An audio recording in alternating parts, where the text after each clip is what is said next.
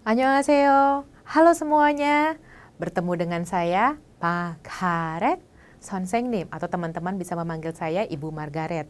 Saya akan membantu teman-teman untuk belajar bahasa Korea dari dasar yaitu di level 1A. Saya akan memandu teman-teman dalam 10 bab awal belajar bahasa Korea dengan mudah dan menarik. Dan siapakah saya?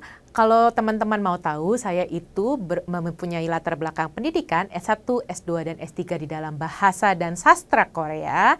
S1 saya di UI, kemudian S2 dan S3 saya di Kyunghee University, dan saat ini saya sedang menulis disertasi dalam jurusan sastra klasik Korea. Saya juga memiliki beberapa pengalaman pekerjaan yaitu saat ini sedang menjadi dosen tamu di Universitas Muhammadiyah Semarang dan saya mengajar Korean Conversation dan juga Introduction to Korean untuk mahasiswa sastra Inggris.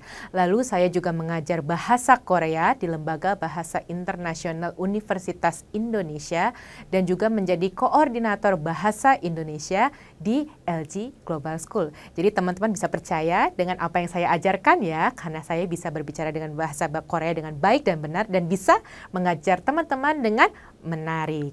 Nah, Bahasa Korea dasar 1A yang saya pelajari ini ditujukan untuk teman-teman yang baru pertama kali belajar bahasa Korea. Dan teman-teman bisa belajar bahasa Korea melalui kosakata, tata bahasa, dan juga percakapan. Nah, di tengah-tengahnya itu juga ada drama singkat teman-teman. Jadi nggak cuma belajar dari saya juga, ada drama antara orang Korea yang berbicara bahasa Korea. Jadi teman-teman bisa langsung dengar pelafalan bahasa Korea dari native speaker orang Korea. Kayak gitu. Nah, di sini kita akan belajar kosakata yang sesuai dengan tema. Jadi nanti temanya apa? Misalnya temanya lagi makan di restoran Korea. Nanti kita akan belajar, oh kosakata apa saja sih yang terkait dengan makan di restoran Korea. Kemudian kita akan belajar apa lagi? Tata bahasa. Jadi nggak semua tata bahasa itu diajarkan langsung banyak teman-teman akan belajar tata bahasa yang wajib teman-teman ketahui dari dasar. Jadi kita akan berikan tata bahasa yang sesuai dengan level teman-teman dan wajib teman-teman ketahui di level yang terkait. Kemudian drama.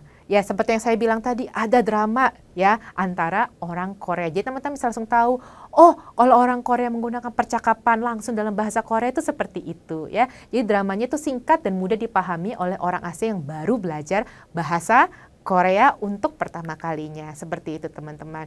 Nah, kalau misalnya teman-teman mau ikut kelas dengan saya, ada beberapa aturan yang harus teman-teman ketahui nih. Yang pertama, teman-teman harus tentukan tujuan teman-teman belajar bahasa Korea itu apa sih? Apakah mau nonton drama tanpa subtitle atau mau ketemu orang Korea langsung ya atau mau kuliah di Korea. Jadi teman-teman harus tentuin tujuan teman-teman belajar bahasa Korea supaya teman-teman bisa belajar bahasa Korea lebih rajin dan lebih semangat. Kemudian yang kedua melatih lafal. Jadi rajinlah teman-teman untuk berlatih lafal terutama dari drama singkat yang kami sediakan. Dan yang ketiga rajinlah untuk membuat kalimat dan latihan berbicara. Jadi jangan takut teman-teman latihan aja ngomong John 저는 집에 가요. Seperti itu. Latihan terus dan menerus. Jadi teman-teman bisa menggunakan lafal Korea yang baik dan benar seperti itu teman-teman. Dan juga kalau misalnya teman-teman mau menggunakan master topik dengan lebih baik lagi, ada yang namanya A-Speak yaitu teman-teman bisa berlatih kosakata dan tata bahasa yang sudah teman-teman pelajari dengan lebih baik lagi dengan menggunakan percakapan yang ada dan komunitas MT. Jadi kalau misalnya teman-teman ada pertanyaan di, kela di kelasnya, nggak usah takut. Aduh, saya harus tanya sama siapa? Ada yang namanya komunitas MT, teman-teman. Jadi teman-teman langsung tanya aja di situ. Nanti saya atau sonsenim yang lain atau mentor yang lain akan menjawab pertanyaan teman-teman. Jadi nggak usah khawatir kalau misalnya teman-teman bingung waktu lagi belajar. Aduh, saya harus tanya siapa? Teman-teman bisa menggunakan komunitas MT. Iya. Jadi gimana teman-teman? Sudah siap belajar bahasa Korea dengan saya? Siap? Oke, kalau gitu kita belajar pelajaran pertama ya. Segera setelah ini suap sigane yo. Sampai jumpa teman-teman. 당신을 위한 한국어 마스터, 마스터 토픽.